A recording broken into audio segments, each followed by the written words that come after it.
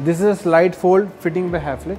It's got these four doors and with just one handle you can slide two of these doors on each side. So at one go you have a complete 8 feet wardrobe for you to use. The maximum door size width that you can take is 24 inches and the height is 84 inches. Anything more than that will not help it function properly.